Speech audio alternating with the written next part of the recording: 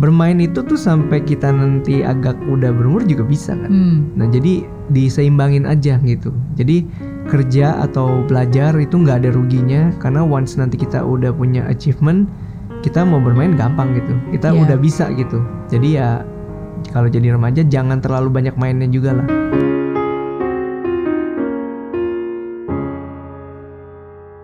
Kenapa sebuah foto ada sisi terang dan gelap? Karena itulah yang justru membuatnya lebih indah. Sama seperti hidup, meski hari ini terasa gelap, itu semua Tuhan izinkan supaya hidupmu nanti jauh lebih indah. Dari Benilim kita belajar bagaimana seseorang tumbuh dewasa. Besar pengaruhnya dari orang tua, membiarkan anak bebas berekspresi dan menjadi dirinya sendiri akan membuat mereka merasa dimengerti dan dihargai. Meskipun hidup adalah pilihanmu sendiri dan nantinya kamu yang menjalani, tapi jangan lupakan orang-orang yang kamu cintai. Bagaimanapun juga, mereka lah yang akan selalu ada di sisi di saat sedih maupun happy.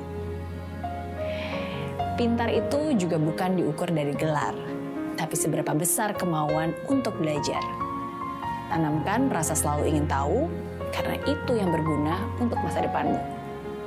Jadi sarjana atau tidak lulus SMA, mau kerja kantoran atau pengusaha, semua bisa sukses selama kamu mau berproses.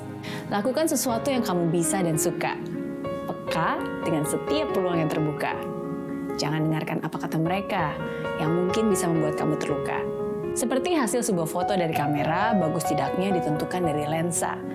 Begitu juga hidupmu, berhasil atau tidaknya ditentukan oleh cara pandangmu apa yang ada di tangan saat ini, lakukan dan kerjakan dengan sepenuh hati.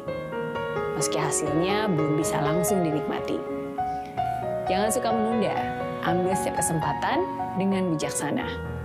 Lebih baik kehilangan masa muda daripada kamu menyesal saat nanti tua. Dari Benilim kita juga diingatkan bahwa penyesalan selalu muncul belakangan. Tapi kesalahan selalu bisa jadi pembelajaran.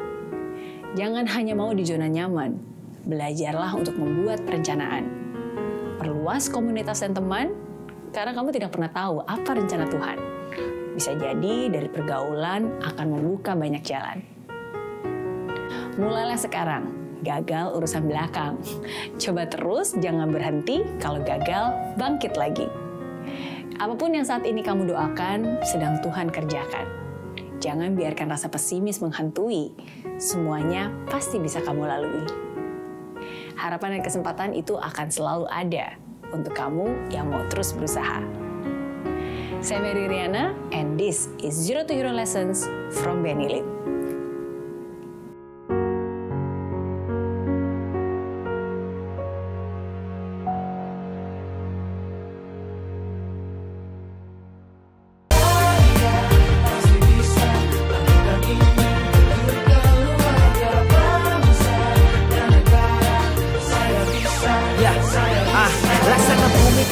Hujan, hidup tanpa tujuan, kering dan mati tanpa hijaunya tumbuhan. Ah, demikian kalau mimpi tak kunjung terjadi,